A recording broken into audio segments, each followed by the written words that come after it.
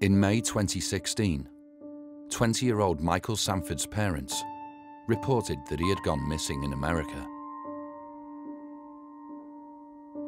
23 days later, he turned up at a Donald Trump campaign rally in Las Vegas.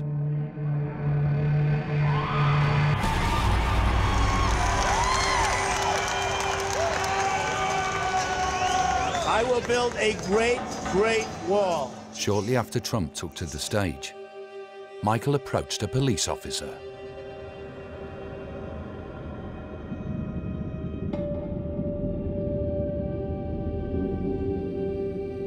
Seconds later, he attempted to grab the officer's gun.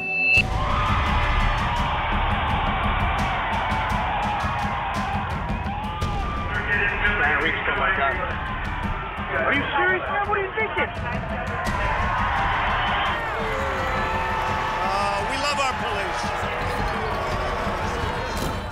When questioned by the Secret Service, Michael stated he'd wanted to shoot and kill Trump, saying he was a racist that deserved to die. But how did a young British man from Surrey end up trying to assassinate the most controversial and high-profile man in the world? Donald J. Trump. We've always just been a very, very close family unit. We thought Donald Trump was the worst thing for the world. This is not a hardened criminal. This is just a young kid who found himself in an awful situation. He tried to assassinate him. He was a wolf in sheep's clothing. Michael is due to be sentenced and could face decades in prison. Michael Sandford could have altered the course of American history. But were these the actions of a boy with a history of mental health problems? He seemed just a totally different personality from the boy I'd known. You know, he's going to spend his 21st birthday in prison. Someone who really shouldn't be there. Or was it a premeditated attack? When Michael was shooting, he was doing this. Who's he working for? Maybe he got radicalized. There's nothing I can tell him that will make his situation any better. And I just want my son back. I'm telling you that, that violence is wrong. I disagree with that.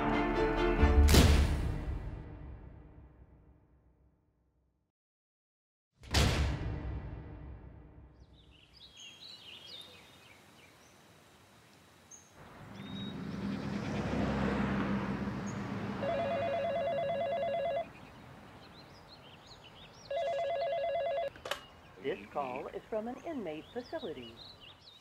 Yeah, hi son. Hey, So what have you been up to today so far? just up to myself. Yeah. mhm. What have you had to eat today? Uh, just potatoes.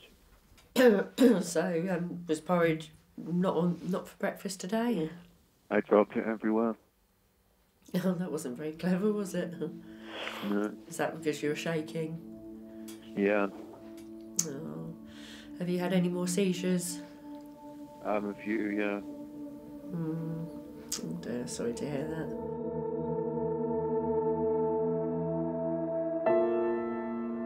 It's very hard to know that he's there and we're so far away from him. All the calls are recorded and monitored. It's very impersonal. Sometimes he begs me not to go and he rings me back again. He says, I just want to keep hearing your voice, Mum.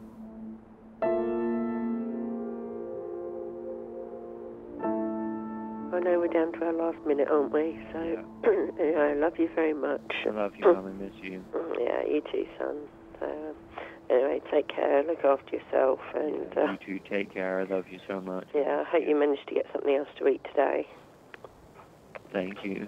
I love you, Mum. I love you too, darling. And Jessica does, and Nan does, and Dad does, and Mischief does. Got cut off, you say 15 minutes, that's all you get, huh?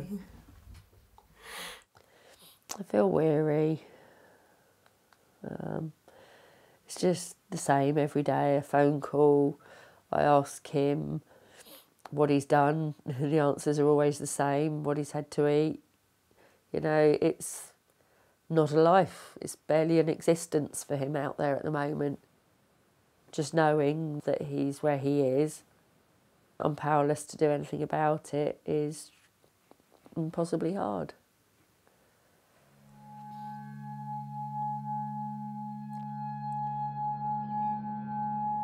Michael's currently being held in a maximum security prison in Nevada's Death Valley while he awaits sentencing. After admitting trying to kill Trump, he's entered a plea bargain in a bid to reduce his sentence, but still faces the possibility of a lengthy jail term. This is one of the most high profile cases I've dealt with, and certainly it's a very complex case. The government will be arguing that this was not something that was a spur of the moment type of crime. This was something that he had been, uh, that had been calculated. They're going to be arguing that this was in fact a very dangerous situation and could have resulted in, in somebody being murdered. The maximum under the law is 20 years for Michael, so he could be looking at many, many years in prison.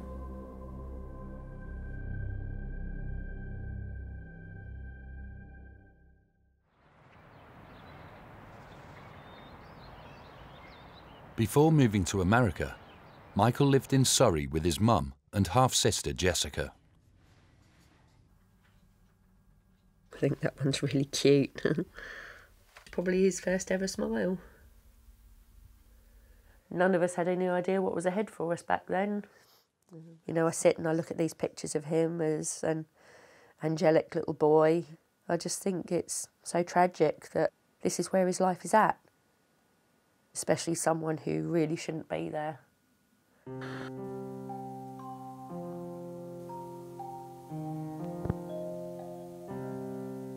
He was very bright and bubbly and cute and sweet and adorable. He was the apple of our eye. Bunny. You're doing a bunny? Oh, you're doing a happy smiley face. But I think we first noticed that there might be problems when he was two. He would become quite hysterical when we would throw quite ordinary things in the rubbish bin. That was the first sign that he had some form of OCD. This, oddly enough, his key collection. he enjoyed collecting keys. When Michael was about eight, his moods started to change. They were quite erratic at times. He seemed to become quite depressive and quite angry. Hello! Hello! I wondered if, um, because by then I'd split up with his father, I wondered if it was some anger at the, the breakup. But his, his mood swings and erratic nature were starting to concern me by then.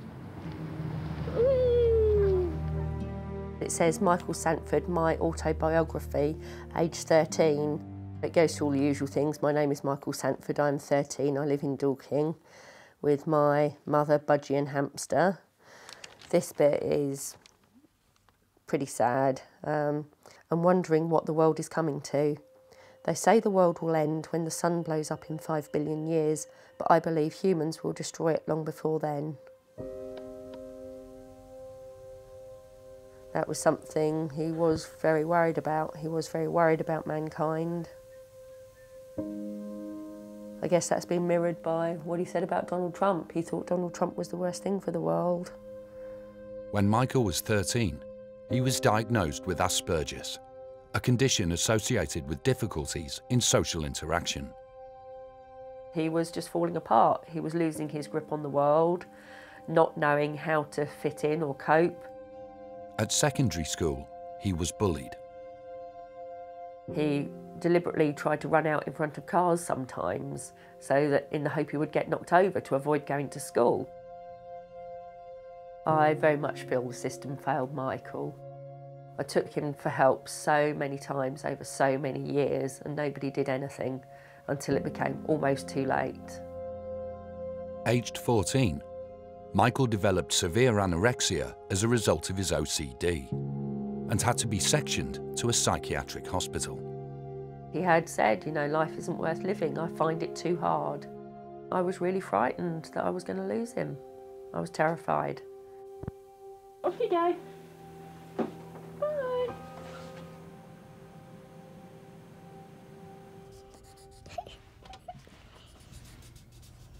What are you drawing? A rainbow. Who's that for? Michael because I love him. He's very nice and good, and he wasn't very well a long time ago. Ali did something wrong, so that's why he's in there now.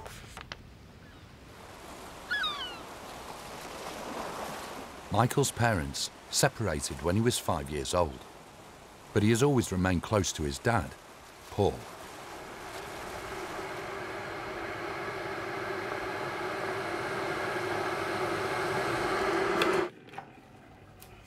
We all know our children, we all know their personalities. If you're honest with yourself, you know whether somebody has the potential to do something like that or not. He's never shouted, he's never screamed at me. That violent aspects of some kids' natures just wasn't there with Michael. Michael had never shown any interest in politics, at home or abroad. But Paul noticed a significant change when visiting him in prison following his arrest.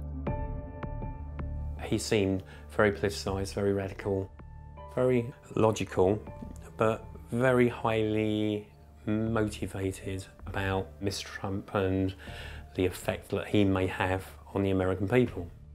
Just a totally different personality from what I had, uh, the boy I'd known. Um, I've got a little box his, all his memories here, so all things like the newspaper cuttings from before, obviously newspaper cuttings from now. Has he not told you why he did it, what was going through his head? No, I mean, it's very difficult for him to say anything to us. Everything he says and everything he does is monitored. He will tell us about it all, I hope, when he's back home, but at the moment he's not, he's not told us anything really. I mean, I think, although it's quite a, a morbid thing to do, but when Michael comes out, um, I'm sure he's going to be quite interested in the news coverage from back home. Why do you think he did it? The only thing I can possibly think of is he's been coerced, groomed, whatever word you'd like to use. I mean, whether it was a structured group or whether it was just a few people with a political agenda to kill Donald Trump, I don't know. Asperger's can make you look at things in very black and white. I think they saw Michael and saw he was vulnerable. Um, I think they saw a way to coerce him into do what they wanted him to do. I think whoever he was with um, has given him ideas because he wasn't my Michael. Aged 18, Michael told his parents he was planning to move to America, to be with a girlfriend he'd met online. He just wanted to spread his wings, have a bit of independence and attempt to lead a normal life. He said he had to go or he would attempt suicide again. He's 18, he's an adult. He's a vulnerable adult, but you can't stop him doing anything. Michael's family used inheritance money to pay for a year's rent on a flat in Hoboken, overlooking New York. He was the smallest, skinniest person I'd ever met the most polite person that I'd ever met. Michael never mentioned any girl to me or friends or anybody. As a matter of fact, I think I recall him saying he knew nobody here. If Michael moved to Hoboken for other reasons, I, I don't know. It does make you start to wonder. Initially, we heard from Michael all the time, but his behaviour became erratic. Sometimes we'd hear from him, sometimes we wouldn't. He turned very nasty at one point. He said to me, You've no idea how much I hate, loathe, and despise you. And that was the final straw for me. I said to him, who, who is putting these thoughts in your mind? Because he'd always been so loving. On the 26th of May 2016, Having lost all contact with Michael, Lynn reported him missing to the authorities. I was worried out my mind. I could only see it ending in a disaster. During this period, police now believe he'd been living out of a BMW bought using the money he'd been given for rent. Michael didn't surface again until the day of his arrest.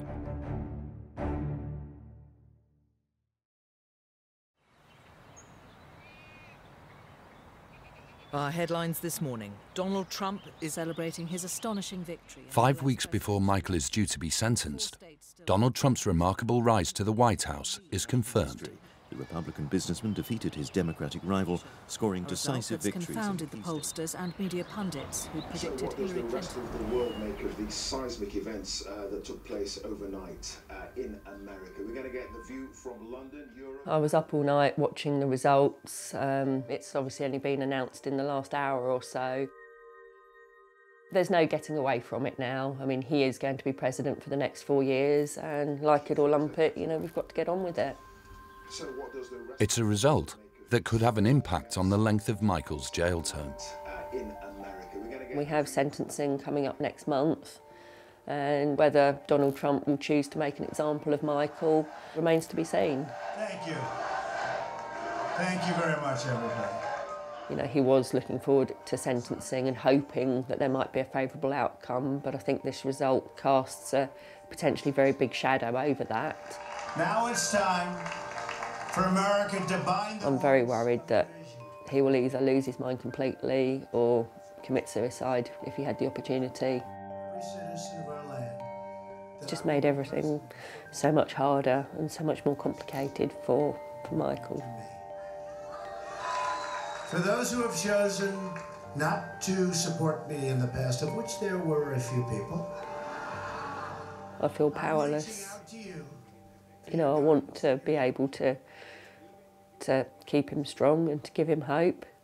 But a lot of that hope was dashed last night with the outcome of this, you know, and it's made the future so much more uncertain for him. political experience and one who's just caused the biggest political upset in American history.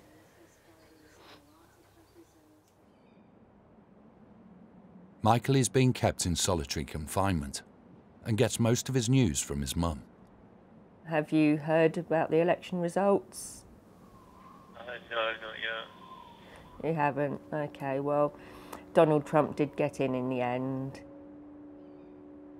So, I guess I'm happy for him, and it's America's choice, so I guess I have to respect that. I realise, you know, in many ways a bad situation just got worse for you, but um, Yeah, I think it did. but you do understand that what you attempted to do wasn't right, don't you?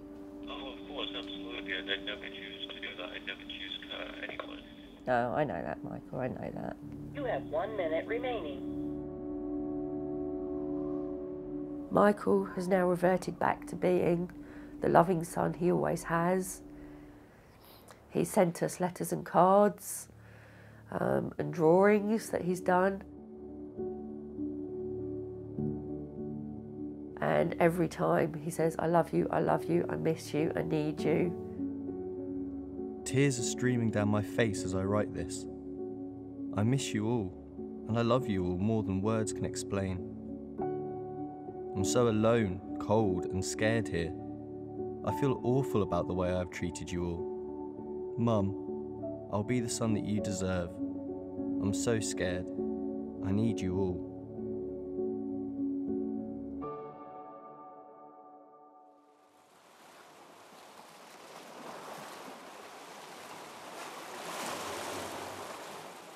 When Michael did move out to America, I redecorated my bedroom. Just get me uh, thinking about it a bit more, I guess. Paul is flying out to meet Lynn in Las Vegas ahead of Michael's sentencing. It's been probably 10 years since I've been abroad. He needs that support, and with that support, he'll be all right. Michael's mental health has deteriorated since Trump was confirmed as the president elect, and he's been placed on suicide watch. He's become quite depressed, and now I think he just wants to get the sentencing over and done with, so at least he'll know what's happening to him. We hope it's going to be okay. We hope they're going to take into account Michael's conditions, but we have been told that it's not something the American system really tends to um, look into. He is flesh and blood, he is my boy. And uh, he's lonely and scared. I mean, he's got no family out there, he's got nobody to see him. He's in a prison where there are lifers who support Trump. They've got nothing to lose, really. I still lie awake at night a lot of times expecting that phone call saying there's been an incident, something's happened in the detention centre. Be honest, I'm really worried somebody's going to try and kill him. I really am. I've started on sleeping pills and antidepressants because there's been a number of nights where I haven't slept for two or three nights in a row. And uh, obviously then you start to get really down tired. I've got to do it for Michael. You just get over it and get it done with. I'm trying to get my son home.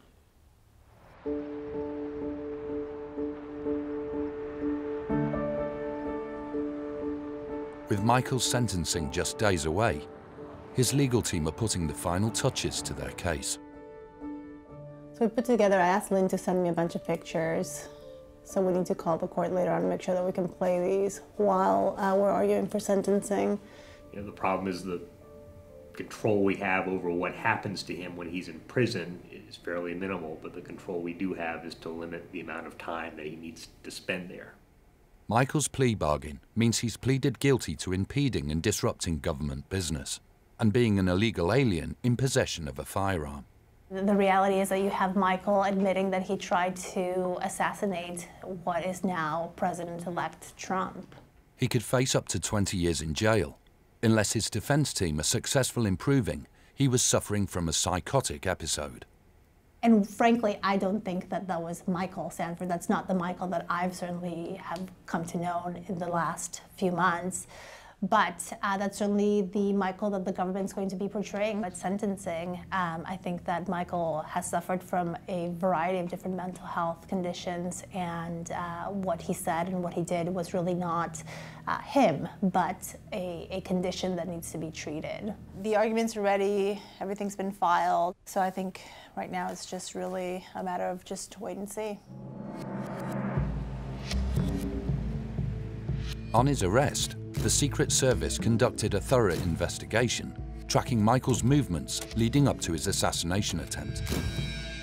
In the boot of his car, detectives found a used target that led them to a firing range less than a mile from where the rally took place.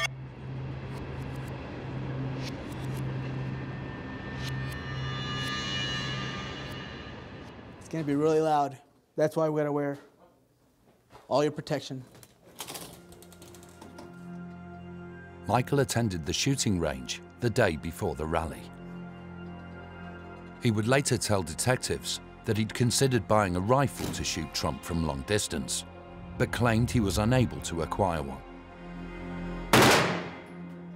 This is the Glock 17, the one that Michael shot.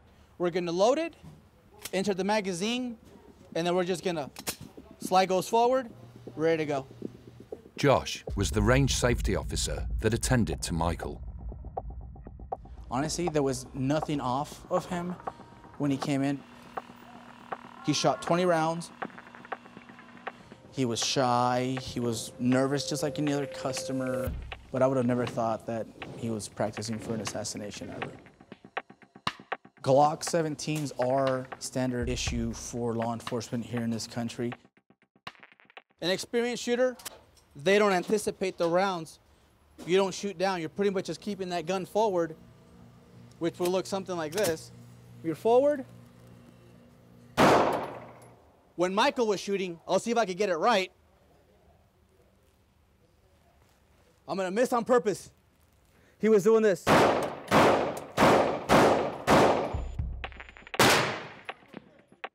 He was shooting the ground. He was not a good shot, of course, just like any other shooter who has never shot and has adrenaline kicking in and is really nervous. They usually shoot really low because you're flinching, you're so nervous. He was an ordinary customer. He seemed like a good kid, actually. You know, he just looked like he had innocence in him, just, you know, like he couldn't hurt a fly or anything.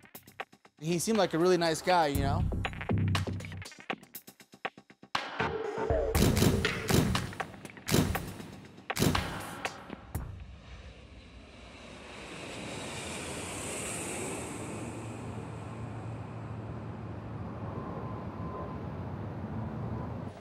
After a 10 hour flight, Paul has arrived in Las Vegas for Michael's sentencing. He is meeting Lynn and the rest of Michael's family at the airport. Quite nervous about everything now, and I can feel myself getting more and more nervous the longer I've been here, and I'm sure Lynn's going to be the same. The nerves will start when she gets in, and then I think as the day progresses, thinking about tomorrow, it's going to be hard for both of us, and I think Lynn, Lynn is going to start struggling.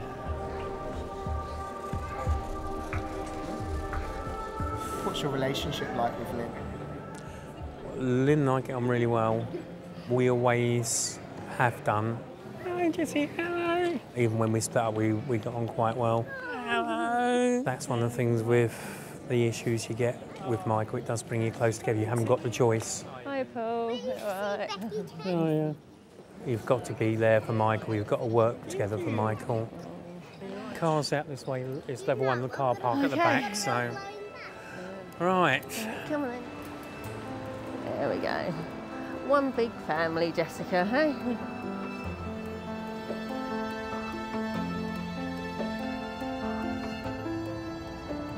That's where it all happened, Treasure Island.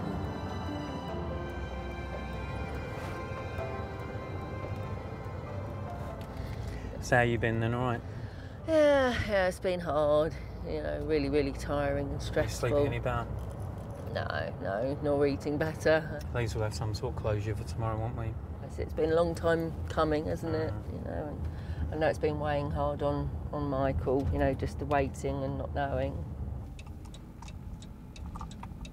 Jessica, do you remember where I said that we're going to go tomorrow? Court. That's right, yeah. Who's going to be at the court and why are we there? Michael, because we have to find out how long he has to stay there again. That's right, yeah. So there's going to be a special person. The judge. The judge, that's right. And he, he's going to listen to lots of things about Michael and decide how much longer Michael has to stay here, isn't he? I'm a bit, a, a bit nervous of the judge because I've never seen him before. No. Do you think you can be on your best behaviour? Yes. And of course, Michael would like to see how well you can behave as well, wouldn't he? What would you like to say to Michael if you get the chance? I love you. Oh. You all right?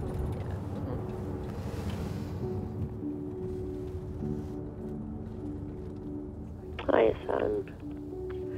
How are you? Fine, I think I just spoke to Granda. Okay, did you? Um, what did she have to say? Um, just that I will be allowed to make a statement in court. Yeah, well, at least you get to have your say anyway. Are you going to read it to You want me me? to read it to you? Hmm, yeah, that'd be yeah, you want me to read it to you? Yes, please. I would like to take this opportunity to apologize to everyone involved. I feel terrible and awful about what I did and I'm extremely ashamed of myself. I am not a violent person and I do not wish to harm or hurt anyone. Right, now when we get in, it's bed for you, Jessica. I deserve to be in prison for the rest of my life. However, I would like to ask for mercy as my bad mental health was the reason for me committing this crime. I would like to be able to go home so I can be with my family and get the treatment I need. hmm I don't think you should say, though, that oh, you deserve to be in prison for the rest of your life, because that's not Right. true. I mean, I did try and kill a guy like that. no, I know, but you didn't mean to, and you didn't intend to, did you? And Alright, I'll take you down.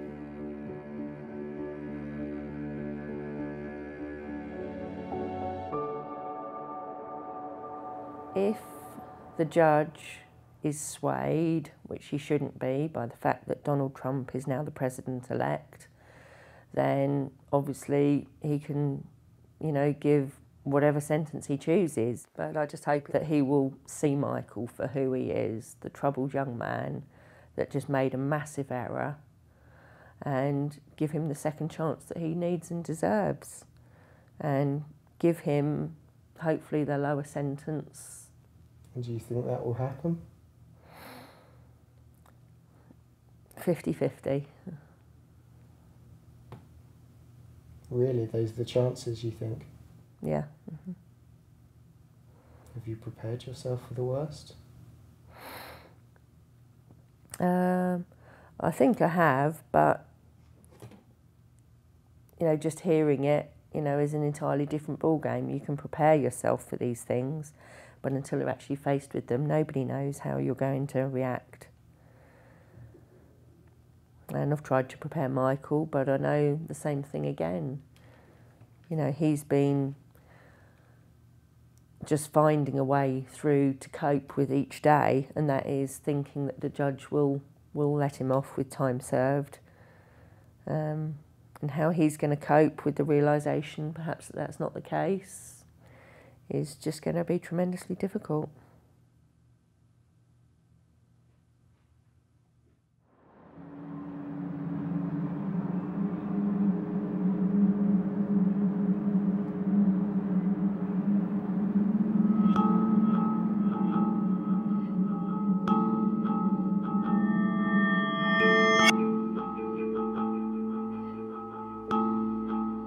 Just before midnight, nine hours before the rally was due to start, Michael made his way to the Treasure Island Casino and took fourth place in the queue.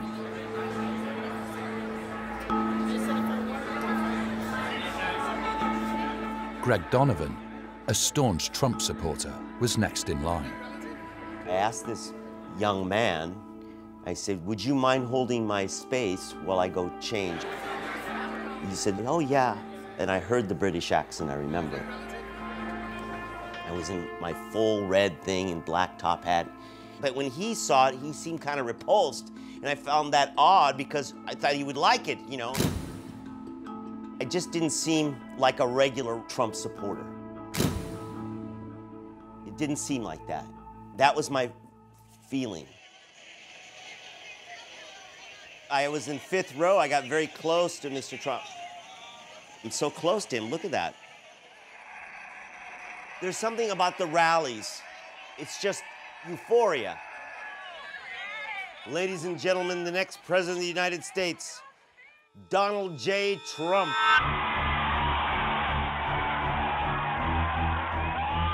As the auditorium began to fill up, Cole Bartiromo, another Trump fan, took his place in the crowd. The crowds are just so high energy, feeding off his energy. So passionate, start chanting things over and over again. Thank you very much. Oh, I love you people. I love Las Vegas.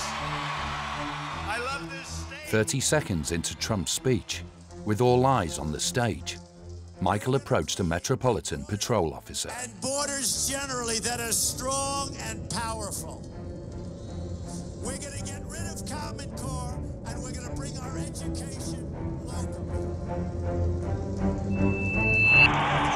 When we get 37 states,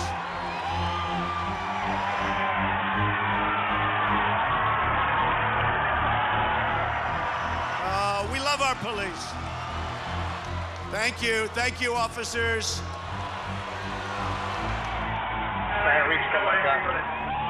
Are you serious, man? What are you thinking?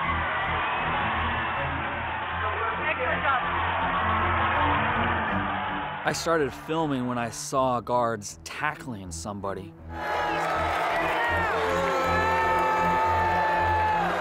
They're just dragging him out of there like he's a rag doll. Thank you. Thank you, officers. It's like, whoa, like, wh- what did he do? There is this anger. Because Michael Sandford could have altered the course of American history. Thank you. He didn't look like a murderer. He was a wolf in sheep's clothing. Maybe he got radicalized.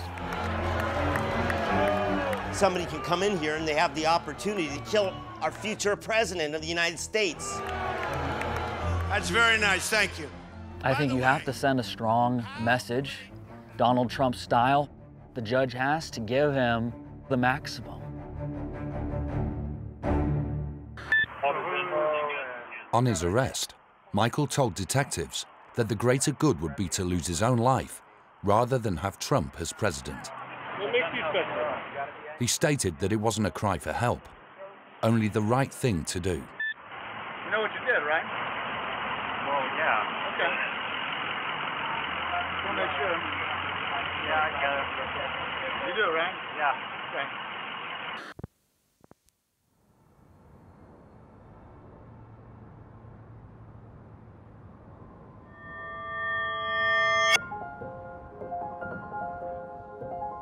It's the morning of Michael's sentencing. The family are on their way to meet the legal team for a final briefing.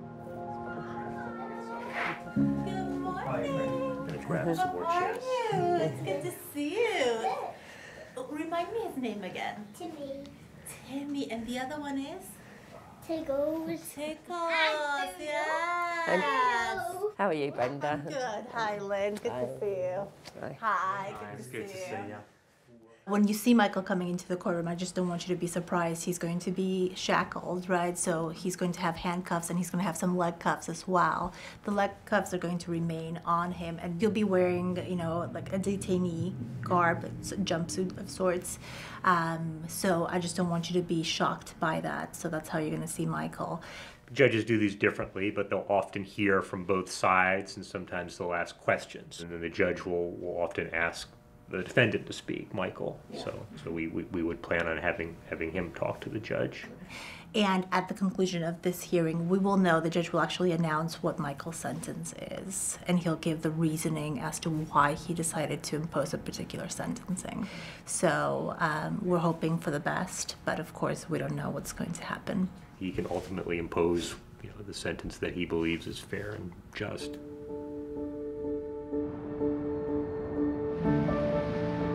Unless the Republican judge is sympathetic to Michael's mental health disorders, he faces a lengthy jail term. Michael Sandford is in there now, dressed in an orange jumpsuit. He is tethered at the ankles. Last big building. His family say that uh, he is um, someone who's had a lifetime of mental health issues, and therefore they're, they're asking the court to show some leniency. that is now in the hands of the judge, and we're expecting that verdict at sometime in the next hour. What's done is mm. done. We can't change what happened. But my worries are that we won't get him back. Which way are we going? I think it's just round here, Jessica. Have you been able to talk with him?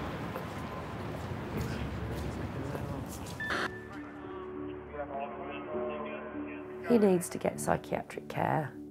He needs to be back in the UK.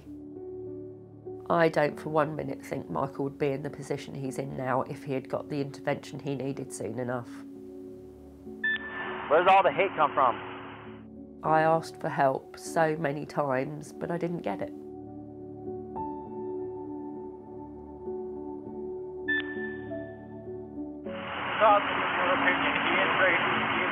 No, I understand that. Do you think what you're doing is right? That's justified. It's not. If you're wanting to kill somebody, it makes you wrong. That makes you wrong. This is America, land of the free, right? Everybody should be able to entitle what they want to say and do, right? Well, I mean, within No, limits, yeah, everyone is entitled. This is America. That's the rule. That's No, when someone's right. everyone's entitled to say what they want to say. Freedom of speech. doesn't mean it's right, though. If someone's Okay, you know what? Then you need to change the Constitution. How would you think of racism? I'm not here to debate. I'm telling you that it's, violence is wrong. I disagree with that. There is life for him, the other side of this, whenever that may be. I know that although he attempted to do a bad thing, he's not a bad person. And I know we have to get him back.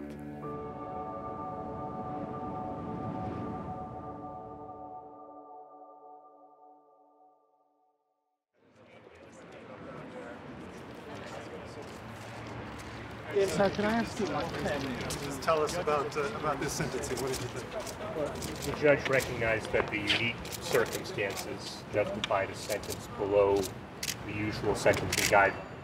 The important thing is he wants to go home. He wants to go home as soon as he can. And, you know, the light is at the end of the tunnel here, so he, he, he's happy about that.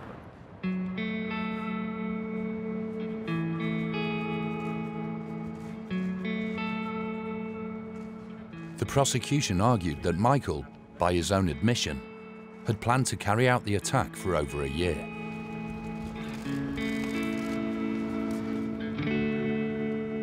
But the judge was sympathetic to his mental health and handed down a shorter than expected sentence of 12 months and a day.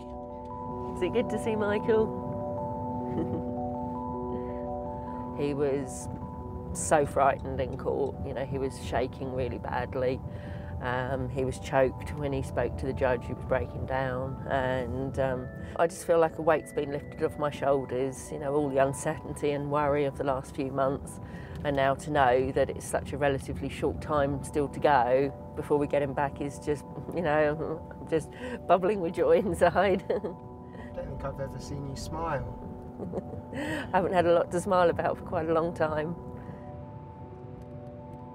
He apologised to the judge for what he had done. He apologised to the judge for wasting people's time. And the judge turned around and said, You've got nothing to be sorry for.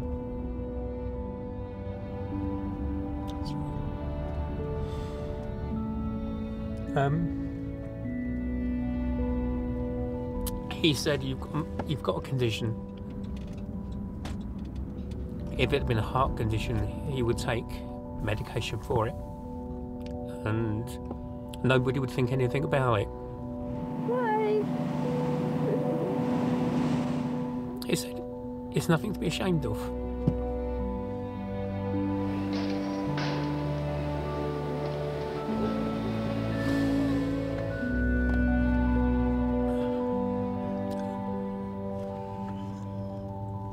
The judge realised what everybody else has always said about him.